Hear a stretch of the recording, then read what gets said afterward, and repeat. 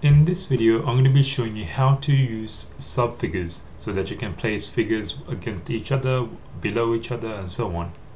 Okay, so I want you to get started, started off by saying it's a document class of an article. You can use whatever else you want to, and the begin and end documents. Now, we're going to use a few packages, and there's a few that's really important. Well, first of all, the most important one is GraphicX um, but it just so happens that you need to use these other two as well called uh, caption and subcaption.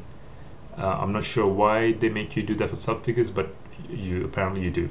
Um, and also for later so this is not um, needed for right now but use package hyperref.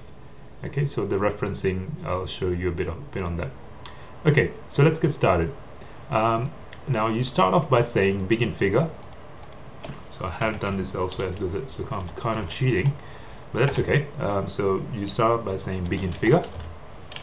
Okay, now for content, uh, for the content of that, we're going to start by saying begin subfigure. Okay, so we're going to start by saying begin subfigure, but uh, what's going to be important is that you write uh, a second in a second curly brackets the text width. Okay so you, unfortunately you had to do this twice but the text width I'm going to say is is going to be 0.5 okay so half half the width of the page.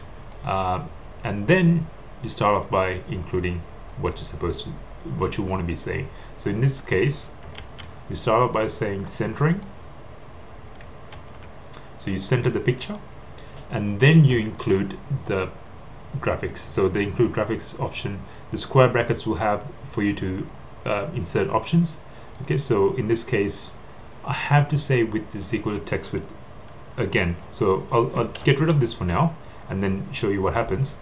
Um, and then curly brackets the name of the file. Now you never write the extension. So if it was JPEG you don't write .jpg just leave it as it is. Okay so the cap and then the next line a caption and if you want a label as well if you want to refer back to this okay so this this is how you do a label. But the label you go fig double dot and then whatever whatever it is that you need. Okay so let me just get some spacing in here so you can see this clearer. Okay so start off by saying begin figure and then you, you say begin sub figure. If you want it to be half the width of the page you say it's a half width of the page okay? You center it and then you include the graphics. Okay so let me show you what happens now okay so unfortunately if you don't say text width again it takes up the entire page. Okay so I'm going to put put the width is equal to text width again. Okay so there you go. And the caption I said it's a Superman okay? So that's that's what I don't know if you can see it but th that's what, what I've written over here okay? Now instead of writing width is equal to text width I can specifically say width is equal to I don't know uh, 3 centimeters I guess you, you don't have to specify so it'll become smaller. Um, I can do things like uh, write a comma height is equal to one inch instead. Okay so if I do that unfortunately the ratio doesn't isn't uh, preserved because it says the width is text width and height is one inch. So it's trying to satisfy both conditions but anyway um, so let's move on. So you don't really need that but if you are using these options make sure you make sure you use a comma in between okay so that's that's still just one picture in there. Now let's put a second picture in there. So I've, I've done this before like I said. Okay so I'm going to include a second picture in here. Uh, oops. I think I went a bit too far. So I'm going to use a second picture. Okay pasting all of that. And again I start off by saying begin subfigure. Um, and again I, I personally want it to be half the width okay? And I want it to be uh, standing side by side. So I say width is again equal to text width um, and then the name of the file okay? So yeah so let's let's see what what this gives me okay? There you go. So side by side I have Superman and, and Goku. Um, right okay. Now something that's really missing in here is the fact that um, there's no caption so caption for, for those two, right? So usually you, when you're doing scientific papers, you want to explain what's going on when you're comparing two images, right? So in this case, I'm going to say uh, Superman versus Goku.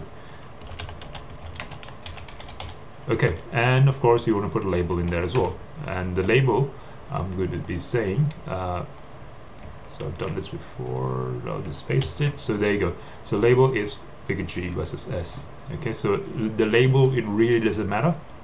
You just have to say fig, double dot, and then just a little name for you to, for you to refer to it later on. Okay, so I've done that. And if I was to refer to it later on, this is the text that I'll be using okay so I go hi look at slash ref and then bracket in curly brackets you go fig of Goku right so the, the, the good thing is that this red thing this um, this thing over here you can click on it okay and then it'll jump to it okay, it didn't jump to it properly but if I was looking at the PDF it will jump to the proper place okay um, and um, because I mentioned the width thing before and if you notice the, the, the two heights are different, right? So what you can do is you can say, instead of doing width is equal to text width, I can say height uh, is equal to, uh, let's go two inches for both of them.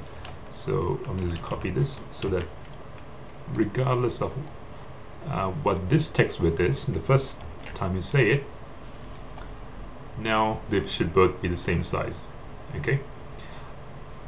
one last one last little trick that I'm going to show you is suppose you want to place it underneath each other and if you want to do that all you have to do is uh, find where the first subfigure ends place a blank line okay so black line means go to the next line.